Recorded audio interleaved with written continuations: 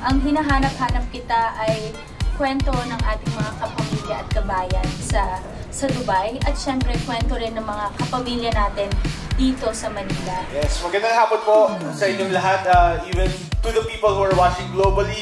Uh, very excited na kami dito sa hinahanap-hanap kita. Uh, we finished this earlier this year and happy kami na mapapalabas siya ngayon for everybody to see.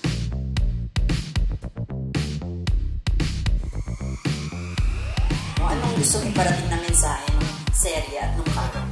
grabe tumaas talaga yung ano um, respeto ko sa mga tao dun sa Dubai, lalo na yung mga OFW kasi grabe grabe din nila talaga ibigay yung buhay nila para sa trabaho.